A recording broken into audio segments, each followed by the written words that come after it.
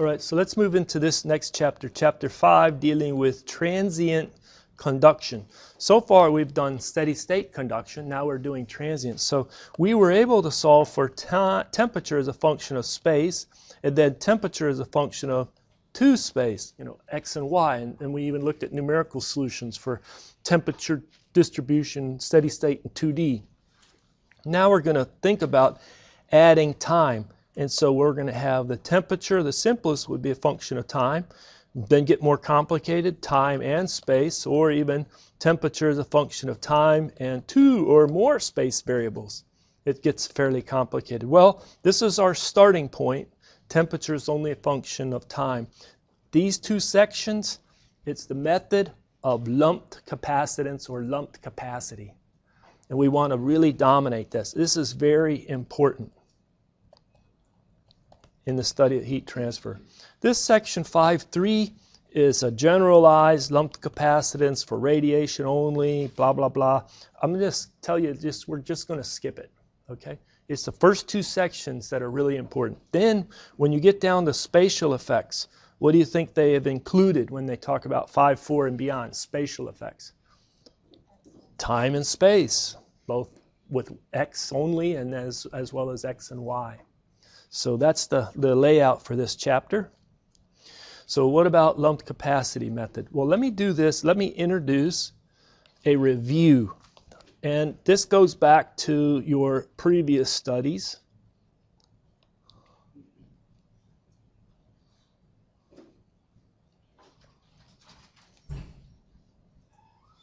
And as a review, I just sketched something and it jogs your memory.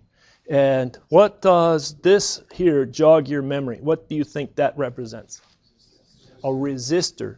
And this represents a capacitor. And this represents a a battery, a voltage source, a power source, okay, but it's a constant voltage battery. And this represents a switch, and we should have mastered this. You really need to master this concept. And there's a number of things that you could talk about. You could talk about the current through the resistor as a function of time, or you could talk about the voltage across the capacitor as a function of time. There's a number of different ways to represent this. But if I said I'm going to have this initially, uh, the circuit's closed, so the battery's connected to both the capacitor and the resistor and I let it sit there for a long time and it charges. What does it charge? Either the resistor gets charged or the capacitor gets charged. The capacitor gets charged.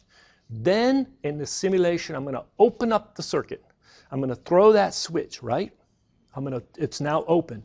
The battery's out of play. What will happen to the voltage across the capacitor as a function of time? And so we start here, and you're going to have it fully charged, so it'll have the voltage across the capacitor initially. And will it, uh, this is uh, maybe the first clicker question for today, will it go up and then eventually go down? Will it go stay constant for a long time and then eventually go down? Will it start to decay rapidly and then kind of go to zero? Or will it decay rapidly and undershoot and then come up and then go like this and back and forth? So what will that voltage do as a function of time? Will there be initially an increase in voltage across the capacitor? Or really it'll stay flat for a long time and then come down? Or will it rapidly decrease and kind of go to zero? Or will it rapidly decrease and then kind of undershoot zero volts? This is zero volts, right? Zero, kind of have negative volts, send back to positive volts, and negative volts, but eventually go to zero volts.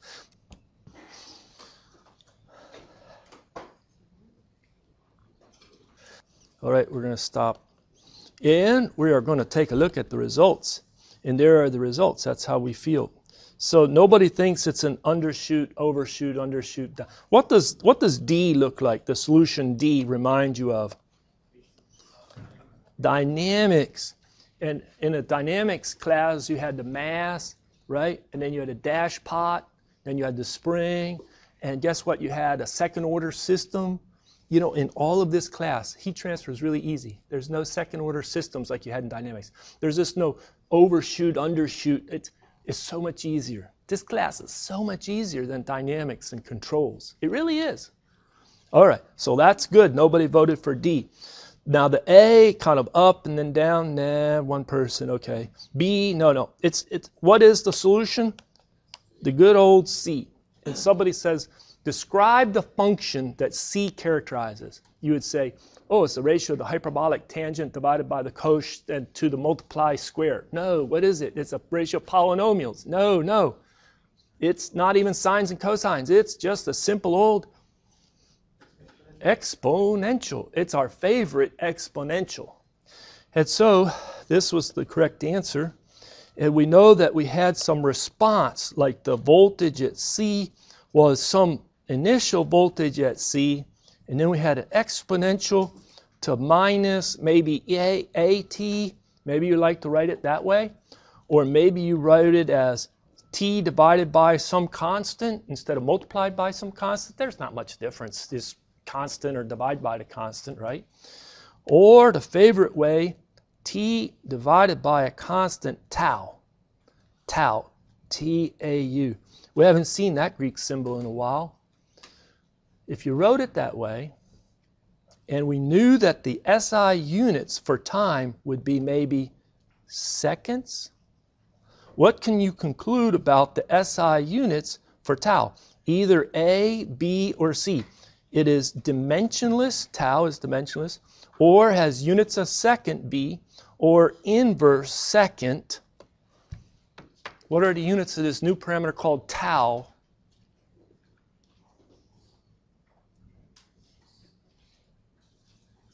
All right, we're in. All right, let's stop. Now, uh, to remind me, if uh, if it's good math, if you can exponentiate uh, something that has units, let's say meters, what do the results of that come in? What are the units on that? Is that meters? if I exponentiate 5 meters, I mean, I get e to the 5, my calculator handles that, but I guess I'm the analyst and I need to be responsible for units. So if I have e to the 5 meters, what is, what are the, you know, not just the magnitude, what are the units on that?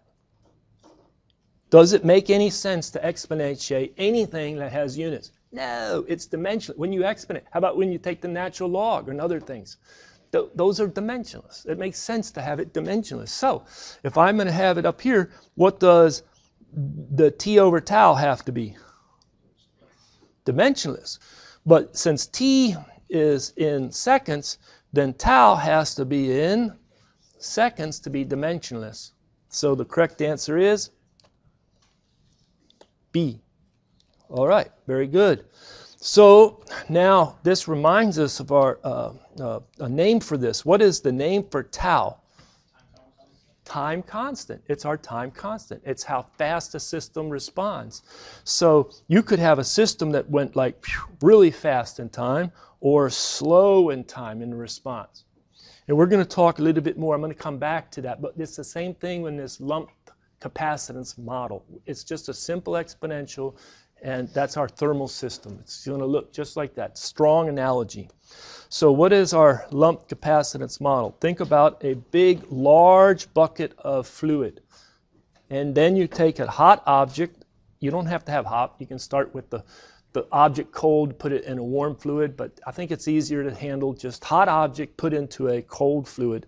And then you move it and you start the clock as soon as you put it into the bucket of large cold fluid. And then you ask yourself, what does the temperature of the object, single temperature of the object, do as a function of time? It comes in with T initial and it's exponential. It's going to be just like that. It'll, it'll go maybe not to zero, it'll go to T infinity, which is the fluid temperature it'll go to the fluid temperature. After a long time, the object will have the same temperature as the fluid. Now, did I say that this fluid bath was large? So you, if you had a small fluid bath, then it becomes more challenging because the fluid bath is going to heat up as the hot object cools down. It'll reach some equilibrium temperature. We can do the math, but this is the easy. Let's start with the easy. All right, so how do I get this profile? How do I mathematically determine this temperature as a function of time. I need a differential equation and an initial condition. Where am I going to get that differential equation? What principles allow me to get that differential equation? I'm going to start with a energy balance. That's right. First law, of thermodynamics. Don't have to go very far. So we have a control volume around this object, and we say, oh, the rate of change of energy inside that object with respect to time. How is that energy going to be changing? It is only going to go down due to the rate at which it's convective heat transfer out to the colder fluid. Then you think about a minute, oh, this energy, I learned that. That's internal, kinetic, potential energy. Hey, this is not thermo 1. We don't have this high amount of kinetic potential energy. This is heat transfer, just internal energy, right? And then you said, well, I remember that the internal energy is the mass times the specific heat times the temperature minus some reference temperature. That's right, that's good. Somebody said, oh, I remember Manteufel, he emphasized specific heat, C sub P or C sub V. It's a solid object dunked in a fluid. Is there a difference between C sub P and C sub V for a solid object? Solid's incompressible? No. So you can leave the subscripts off. Somebody says, I'm forcing you to put a subscript on. Put P. Because we just have a constant pressure, usually 1 atm. 1 atm system, one, one atmosphere pressure. I'm going to dunk it in. It's incompressible, so C sub P is equal to C sub. All right? Whole long discussion about that. Okay, but anyway, it boils down to the the mass comes out, the specific heat comes out, the time rate of change of the temperature. See that? And it's going to go down if you have HA, then you have T minus T infinity. If T is greater than T infinity, it's going to go down. It's going, it's going to be a decrease in the energy inside that system. Now, somebody worked that out already in a textbook, Professor. And since it's already worked out in somebody else's mind and put in a textbook, I don't think I'm responsible for knowing anything like that in this class. At the end of this class, you know, I shouldn't have to know anything. I shouldn't be able to have to talk about this or analyze it like this. Wrong, wrong, wrong. This is the type of stuff we really want you to dominate and learn, right? It's like, how did I get that equation? Energy balance. Can you write an energy balance for kind of a general system? Can you then do the bookkeeping, do a little manipulation, get it into the right form? We're going to introduce theta, which is the temperature difference T minus T infinity. In this uh, illustration, that is theta. And so theta starts at T initial minus T infinity and goes to zero. That's a new variable. You can then transform this equation. You'll get d theta dt is equal to minus HA divided by MC theta. That looks a little cleaner because I got rid of the non-homogeneous term. It's a simple first order system.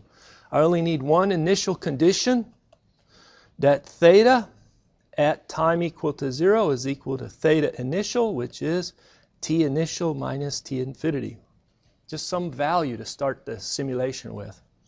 All right, so what is the general solution? Now I have the differential equation, I have my initial condition. You're all geared up. What's the next step, mathematician? Separate, integrate. This one really does that. It's very easy to separate, integrate. So you get d theta over theta equal to minus HA divided by MC dt.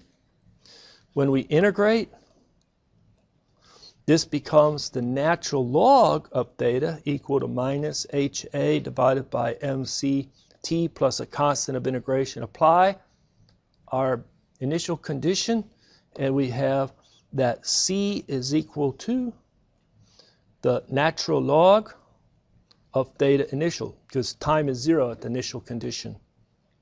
And then our final solution is, is that theta is equal to theta initial e to the minus ha divided by mct. Hey, I don't see a time constant. What's our time constant?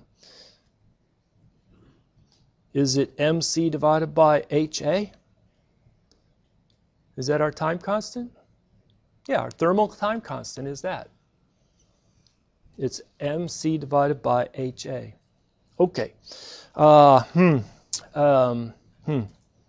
Um, that's our exponential function or time constant. Um, hmm. Let me do this. Let me talk a little bit about our favorite function, exponential. Uh, what I find is a lot of students kind of don't grasp this. I think it's really important. Uh, really important. Okay. So we have e to the minus t divided by tau. If I just plot that as a function of t, where does it start? If I say y is equal to, you know, or function f is equal to e to the minus t over tau, at time zero, what is my value of that function? 1. Very good. After a long time, and I can mark time in measures of tau 1 tau, 2 tau, 3 tau, 4 tau, 5 tau, 6 tau, and beyond. I can measure time in time constants. It'll go down. Now, will it look like this? Or will it look like this is not so good of a draw? Like that? Or will it look something like that? Or do you have no clue what it looks like, that function? What will it look like? It'll look like the middle one. All right? Let's ask this question. Hmm. If I put in the time of 3 tau, that's e to the minus 3 tau divided by tau. The tau is constant, uh, con uh, cancel. That's e to the minus 3. What is that close to? Is that close to 95%? Clicker answer A. 50%, clicker answer B, 36% or 33%, cl clicker answer C, uh, 5%, clicker answer D, or 1%, clicker answer E. What is e to the minus 3? You know,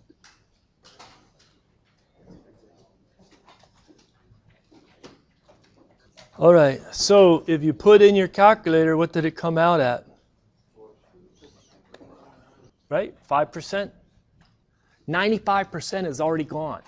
Uh, the delta t is down only 5%. 1 20th is left. A lot of times people will say it's close enough for the action to be done at three time constants. Now, if you're doing electrical systems, they have a little more refinement. They really may be more interested in five time constant before they call the action done, before the function goes close enough to zero to say it's zero. So if I say, what is e to the minus 5, we re-ask that question.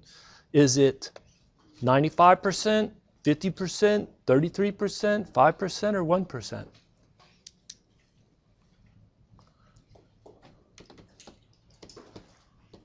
Oh, there it is. All right, let's show the results. Yes, some students are, they may give me the impression that they're sleeping but they're not. They're awake.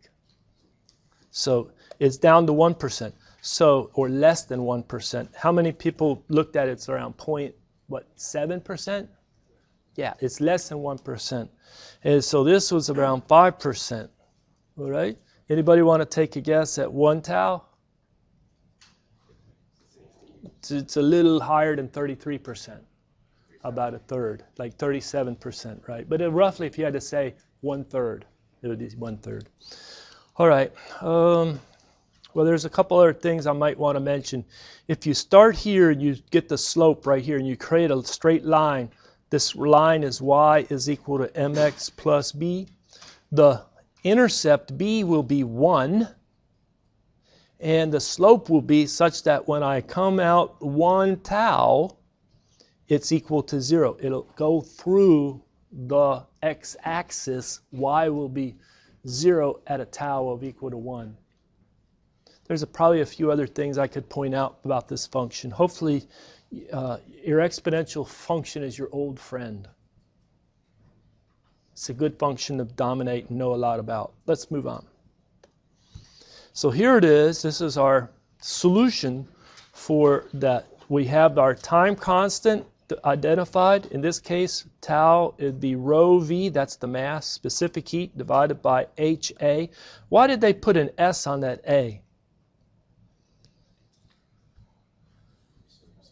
Surface area for convection off of that solid object. And you get that exponential function. One thing we didn't do is justify it. Let's go ahead and justify. The easiest way to justify is to think of a very large sheet that's brought out, maybe it's hung up and brought out of an oven and it's very hot. Maybe you think about a 4 by 8 sheet of metal or something. I don't know, huge, big sheet, but it's not that thick, it's pretty thin. And you have convection on both sides of that sheet. And you really can neglect the convection cooling along these edges. It's really just off of the large faces there.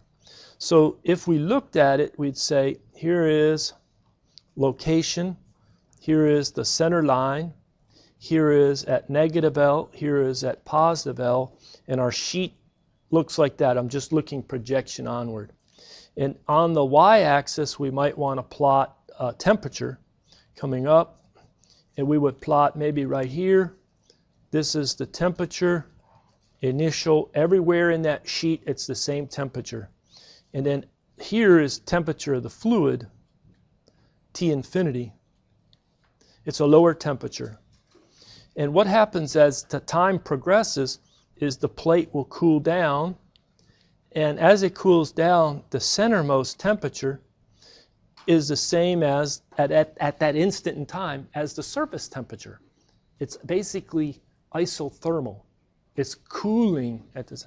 Now, somebody says, well, why doesn't it cool like this, where the temperature at the center stays uniform and the edge rapidly cools?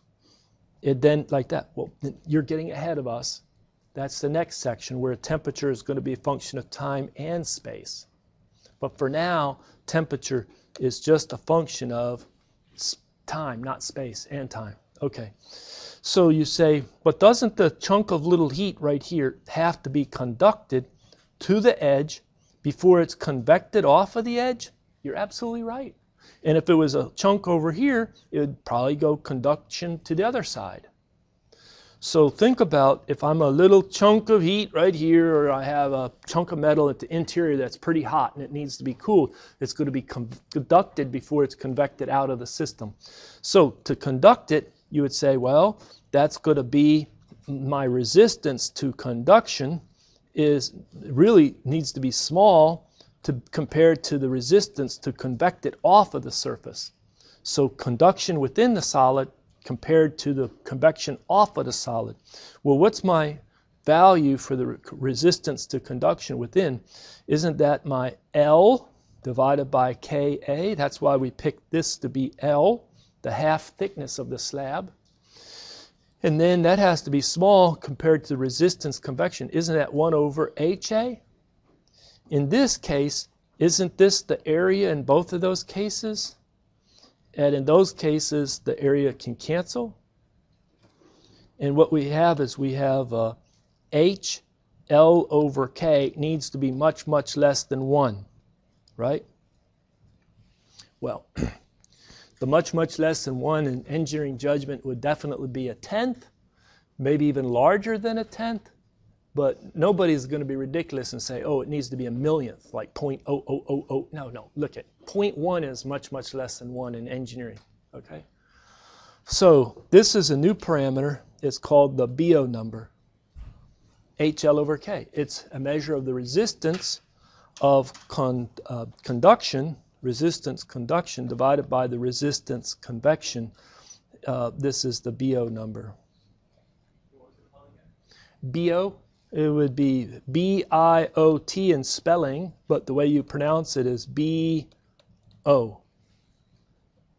There's a few names and things that I butcher and I really don't know how to correctly pronounce, but this one is more consistent in the literature. It's it's the it sound, looks like the Biot number or something, right? But it's BO. All right. Okay. okay. All right. I think we already answered this question. What are the units of the time constant, the thermal time constant?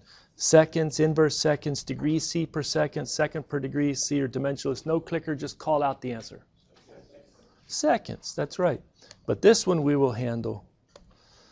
All right, let me move this out of the way.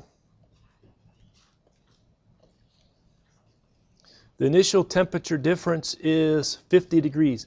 Does that say T initial is 50 degrees or, uh, C or theta initial is 50 degrees C? Which one? Theta is our temperature difference. And the time constant is 20 seconds. Does that mean that tau, our thermal time, yeah, that's what our symbol is. What is the temperature difference after a time of 20 seconds? Less than blah, blah, blah, blah. What is, go ahead and answer, please.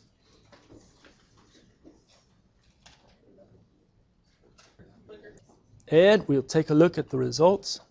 Very good. So why is it 18 degrees? Because theta at the future time of 20 seconds is theta initial, what it begins with, times e to the minus t divided by the time constant.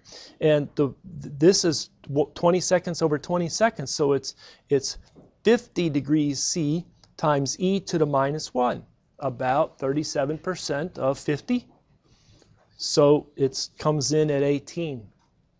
We're going to get another shot at this if you missed it, okay? Here it goes. Same thing, 50 degrees C for the initial temperature difference, same time constant, 20. But now it's not 20 seconds later, it's 60 seconds later. What is the delta T remaining? I have no idea why my pen is doing that.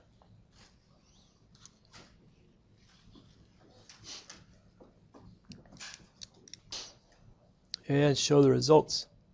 And yeah, it's around two and a half, isn't it? So it was, uh, grade that, grade it correctly. Come on now, put it away. So this turns out to be e to the minus 3, which was about 1 20th, 5%. 0.05 times 50 comes in at about 2.5. Very good. Uh, we talked about the validity of the lumped capacitance. We checked the Biot number. But the Biot number needs a length, true? And so we already said that if I have an infinite slab like this, and I talk about the slab thickness as 2L, that characteristic length is the half thickness, half thickness of the slab, because it can go out either side. I could also have a very long cylinder, a wire or something. Hmm, what would be the characteristic thickness for that? Well, you work it out, and the consensus is, is the radius divided by, not the radius, the radius divided by 2. And then you could have a sphere. It's hard for me to draw a sphere, but there's my rendition of a sphere.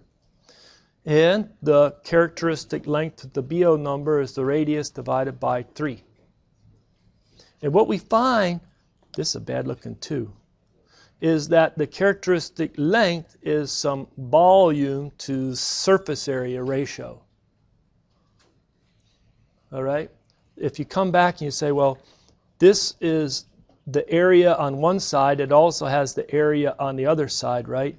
And so what would be my volume to area ratio uh, for this? That would be, the volume would be 2 L times A, and the area would be 2A. They cancel. You just left with half thickness? L.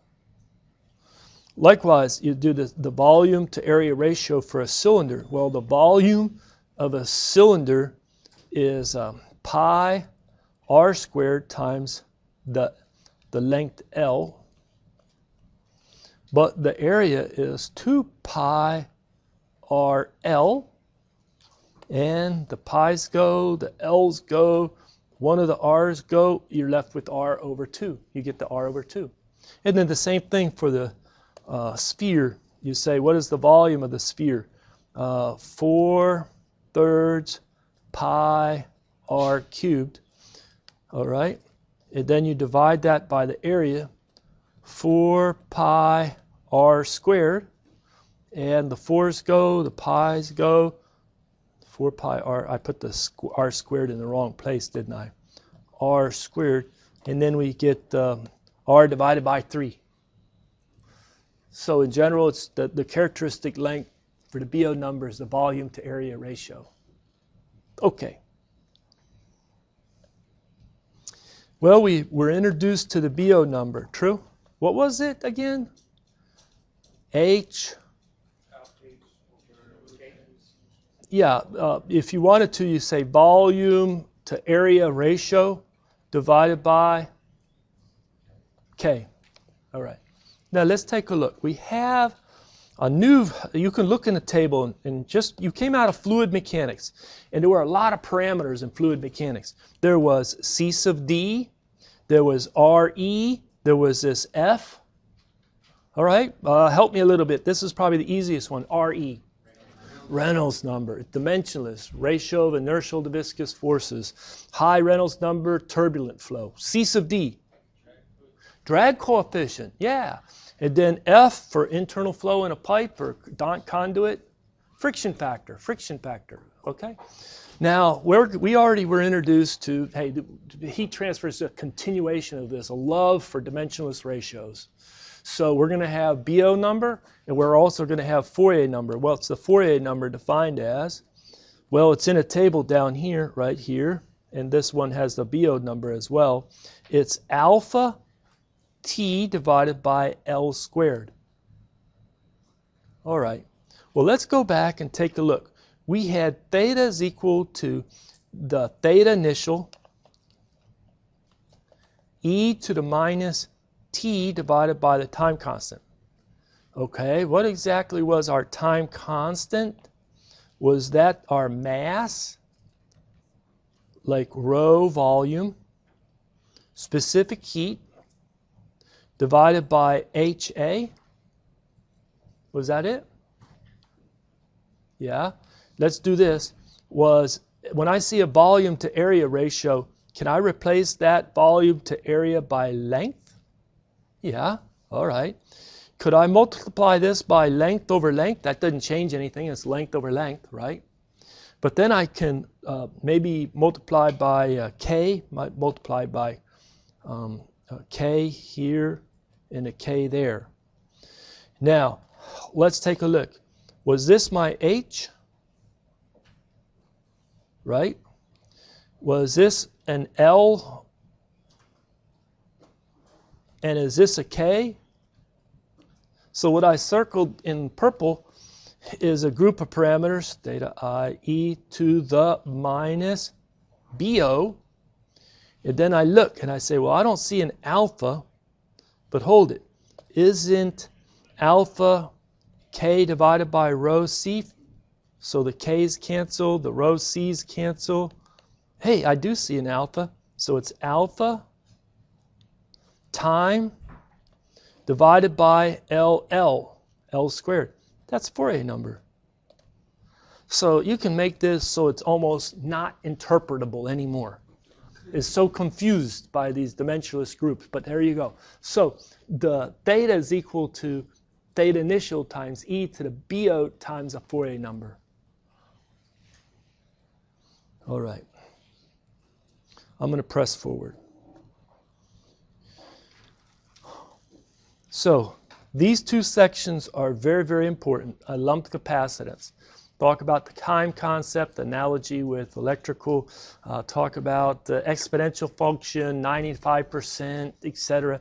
We could solve some problems. This part, uh, just go ahead. I'm not going to have any uh, problems on it for uh, um, exams. It's, it's a little too difficult, a little too challenging.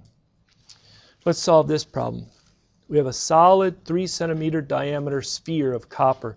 So the radius is 1.5 centimeters, which is 0.015 meter. All right, it's copper. Down here they give us the thermal conductivity of copper, the mass density of copper, and the specific heat of the copper. It's heated in a furnace for a long time until the temperature of the copper is, that's going to be T initial, 80 degrees C. It is abruptly removed from the furnace and exposed to T infinity of 20 degrees C. And the convection coefficient's given 75 watts per meter squared degree C. How long will it take for the center of the copper to conduct down to, or be cooled down to 50 degrees C? Strategy, check the Biot number if you can use lumped capacitance. If the Biot number is small, then you could use lumped capacitance, can't you? So what's the Biot number? H R divided by 3 divided by K. And when you run that number for this problem, the Biot number comes in really small. The Biot number comes in 0.00096. What do you think? Hey, what are the SI units on that Biot number? Nothing. Dimensionless. It's like Reynolds number, drag coefficient, friction factor, Fourier number, Biot number, all dimensionless. Okay, very good. So now that I have that, you say, what is the, how long will it take for the center to be? So it starts at theta initial, which is 80 minus 20, so that's going to be 60 degrees C. And your theta final, that's what you want to find the final time, is going to be 50 minus 20 degrees C, which is 30 degrees C, isn't it? And our general solution is that the uh, that the uh, uh, theta final uh, at the time of interest is theta initial e to the minus t divided by tau. So what you have is you have that um, e to the minus t divided by tau is equal to theta final over theta initial. How do I get rid of that exponential? I do the what for both sides? Take the natural log of both sides. Then I have minus t divided by tau is equal to the natural log of the theta final over theta initial. So the time final is equal to the time constant natural log. How do I get rid of this minus sign? Flip what's in the natural log, theta initial over theta final. So we put in our, we have to calculate our time constant. I need to do that up here, sorry. And we, it's that the HA divided by MC, you got to get the mass of the sphere, etc. This is going to come in around 229 seconds. So it's going to be 229 seconds times the natural log. The initial temperature difference is 60. The final temperature difference is 30, natural log of 2 and you calculate the final time as 159 seconds, rounded off 160 seconds, and boom, you're done. I went a little fast there, but that's an application of using lumped capacitance. Make sure and not forget to justify lumped capacitance because we're going to now talk later about spatial effects. And so if you can get away with justifying lumped capacitance, it's a lot easier. If you have to take care of spatial or consider spatial effects, well, that's just the problem that you have to solve. It's a little more challenging. We'll cover that next time, right? With that, I'm going to go ahead and shut it down and hand back your quizzes.